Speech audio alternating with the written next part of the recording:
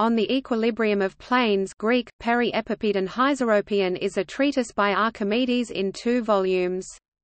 The first book establishes the law of the lever, and locates the center of gravity of the triangle and the trapezoid. According to Pappus of Alexandria, Archimedes' work on levers caused him to remark, "'Give me a place to stand on, and I will move the earth." Greek, Muapa Stokai Tangan The second book, which contains ten propositions, examines the centers of gravity of parabolic segments.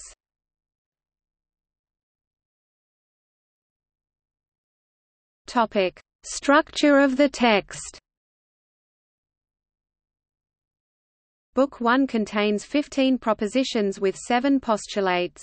In Proposition 6 Archimedes establishes the law of the lever, concluding that Magnitudes are in equilibrium at distances reciprocally proportional to their weights. In propositions 10 and 14, respectively, Archimedes locates the center of gravity of the parallelogram and the triangle. Additionally, in proposition 15, he establishes the center of gravity of the trapezium. The second book, which contains ten propositions, studies parabolic segments exclusively. It examines these segments by substituting them with rectangles of equal area, an exchange made possible by results obtained in the quadrature of the parabola.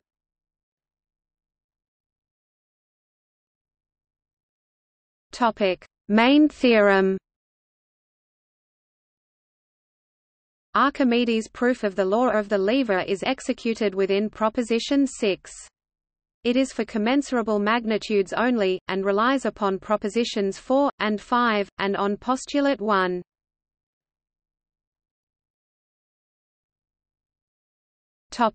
Introduction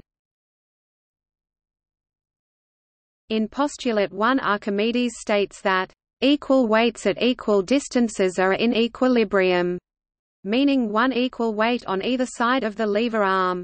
At propositions 4, and 5, he expands this observation to include the concept of the center of gravity, wherein it is proven that the center of gravity of any system consisting of an even number of equal weights, equally distributed, will be located at the midpoint between the two center weights hence introducing multiple weights on either side of the lever arm.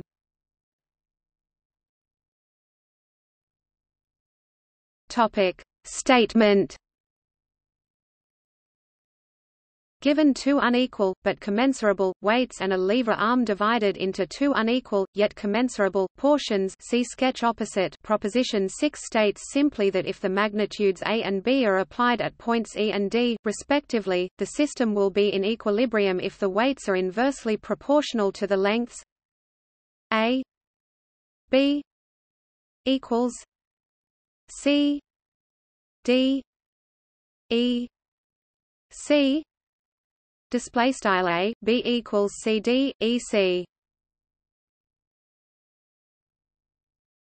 topic proof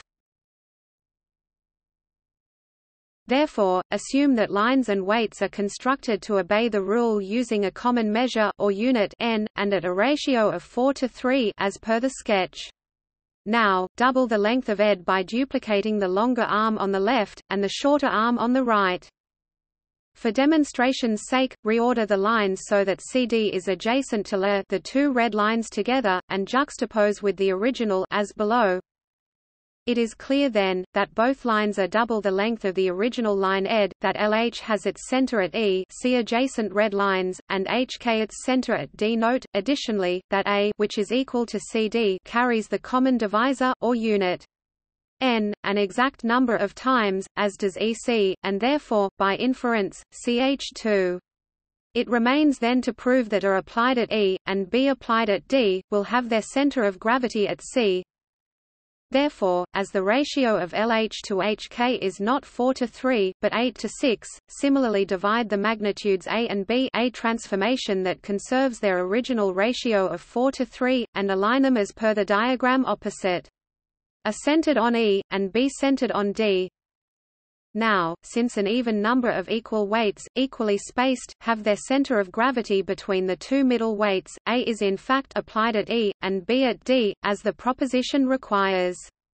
Further, the total system consists of an even number of equal weights equally distributed, and, therefore, following the same law, C must be the center of gravity of the full system.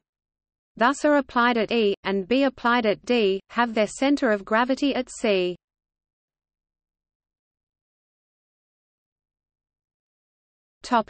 Authenticity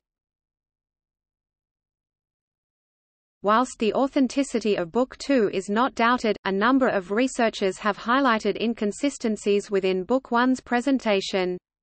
Berggren, in particular, questions the validity of Book 1 as a whole, highlighting, inter alia, the redundancy of propositions 1 to 3, 11, and 12. However, Berggren follows Dijksterhuis, in rejecting Mach's criticism of proposition 6 adding that its true significance lies in the fact that it demonstrates that if a system of weights suspended on a balance beam is in equilibrium when supported at a particular point, then any redistribution of these weights, that preserves their common center of gravity, also preserves the equilibrium. Further, it should be noted that Proposition 7 is incomplete in its current form, so that Book 1 demonstrates the law of the lever for commensurable magnitudes only.